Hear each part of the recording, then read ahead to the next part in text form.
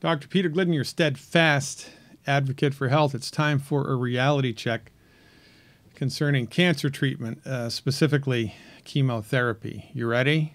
I don't know if you're ready. You're welcome to your own opinion, but not your own set of facts. Here are the facts. These data from the Cancer Treatment Centers of America, which have better treatment outcomes than the national standard. So these treatment outcomes are the best conventional medical treatment outcomes in the United States for the treatment of cancer. You ready? Here are the numbers. If you have small cell lung cancer, 96% of those patients will be dead after five years. 96% failure rate.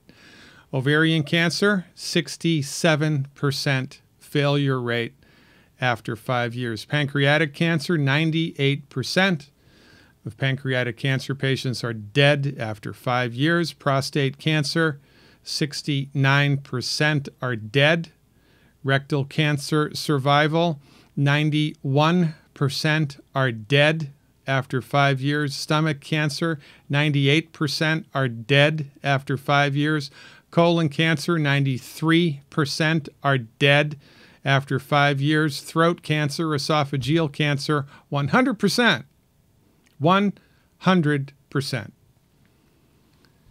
of patients diagnosed with this cancer are dead after five years. Non small cell lung cancer, 96% dead. Kidney cancer, 92% dead.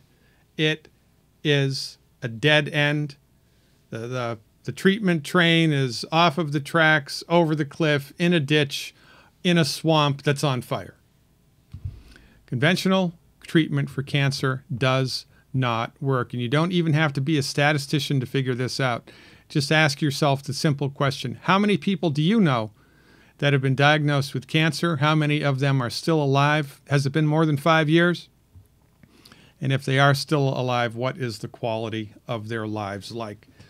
Now, look, I'm a licensed naturopathic doctor, and people assume I'm against pharmaceuticals. I'm not. Thank God for insulin and lidocaine and the sterile technique. But I'm also a realist. Did you know this? That the only pharmaceutical that medical doctors get a piece of the action of is chemotherapy drugs. Did you know that? If your medical doctor prescribes a blood pressure medicine or a heartburn medicine or a pain medication, there's no kickback. But if your oncologist prescribes chemotherapy, there's a big kickback. And even though it doesn't work, this is why it's rolled out. It is a gigantic moneymaker. But don't believe me, believe the literature.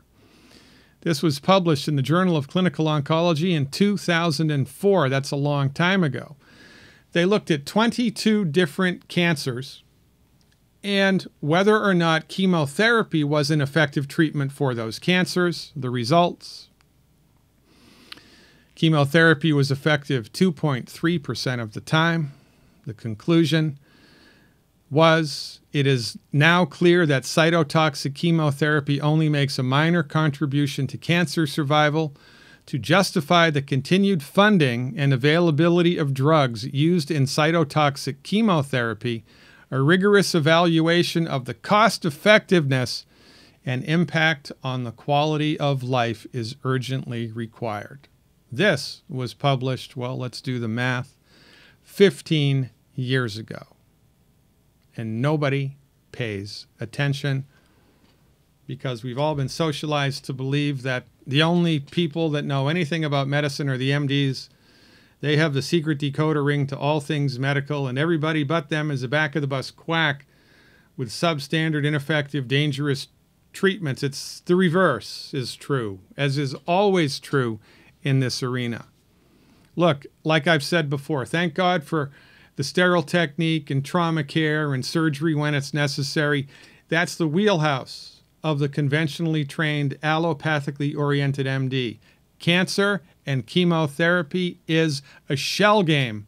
It does not work. Let the buyer beware.